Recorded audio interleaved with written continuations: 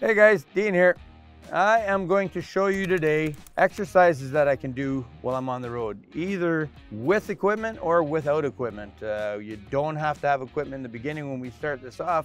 If you don't, don't worry. We're gonna give you lots of exercises you can do without, and we'll give you lots of exercises you can do with equipment. Let's get on that.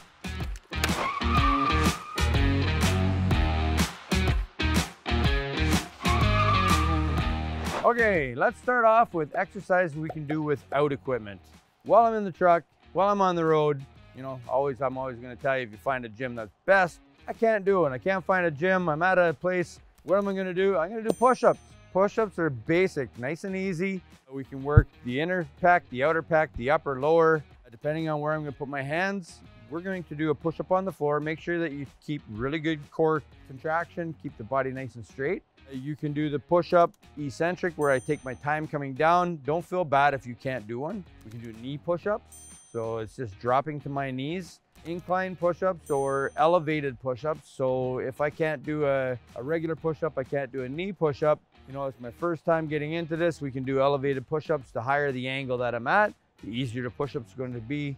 The lower I go down, obviously all the way down to the floor, the harder the push-up will become. And if you want to add that extra little zing to it, you know, we can put our feet up on top of something and do like an incline push-up where I'm hitting the more of the upper chest. It's a little bit harder movement. Moving down to the lower half of the body, we can do two of my favorites, which would be either air squats or lunges, either a stationary or a walking lunge. Make sure that when you're doing it, again, slow and control, speed kills, just like in the truck.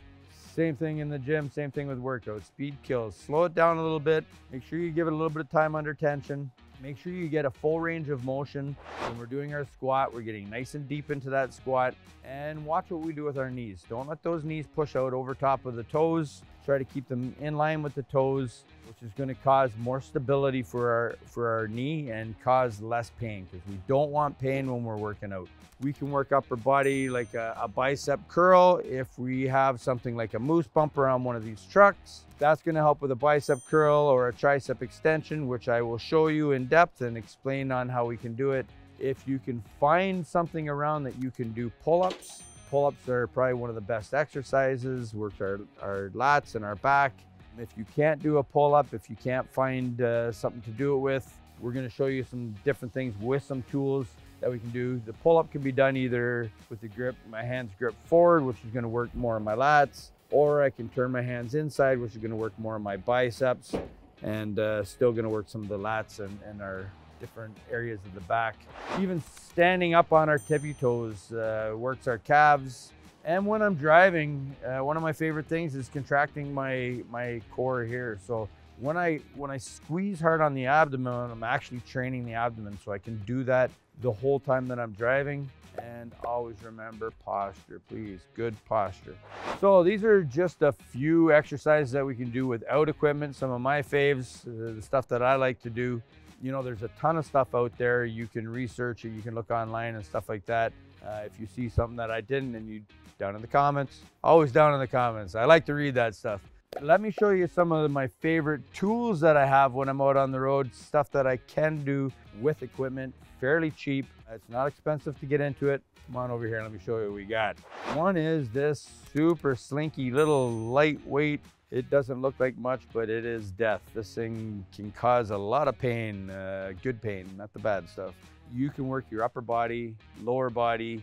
You know, it's really good for uh, us flatbedders and stuff that have to throw chains and straps and stuff like that. Working our, our rotator cuff, a lot of injuries caused in that rotator cuff wrist as well. You know, we're rolling up straps and stuff like that so we can work our wrist extensors and flexors. Really good, extremely cheap. You can pick these up for usually about 10 bucks, something around there. Most fitness stores will carry them. I think probably Walmart and Canadian Tire and stuff like that probably have them. Another great and probably one of the best things you can find is this gizmo here. This is the TRX, spelt just like that, TRX pretty basic. It has a carabiner that we hook it onto different things. We have the straps and handles and we have our adjustment, which is this little guy here. And you basically pull him back sideways.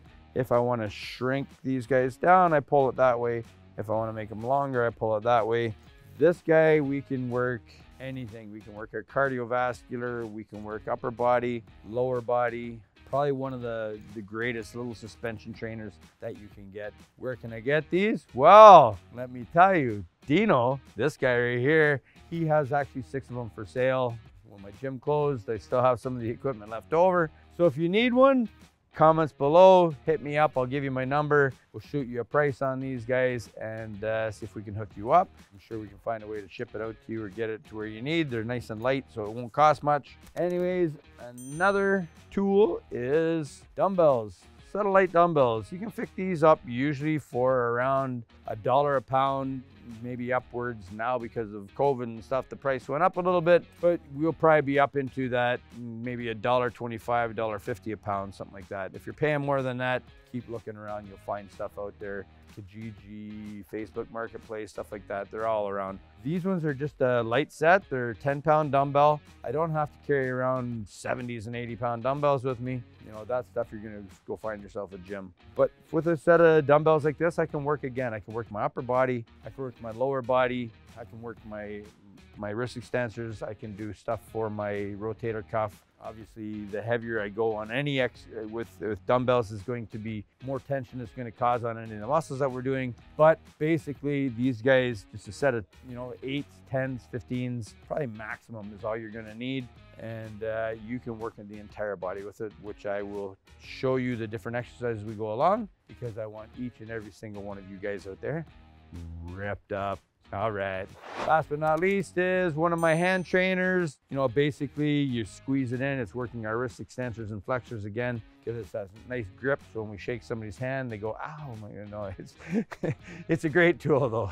All right, so these are just a couple of my basic things that I like to do when I'm out on the road. I am a certified personal trainer. These are very brief rundown on what we do. If you guys want to see more content like uh, where we're explaining contractions and how to do these exercises properly, going a little more in depth, leave the comments below. Tell me what you want to see and we will get something out to you guys with uh, some great content. Thank you for watching. I appreciate it. I uh, hope that you guys learned something. Please, you know, like, and love and comment and definitely subscribe. Tell all your friends to subscribe and we will see you guys again next time.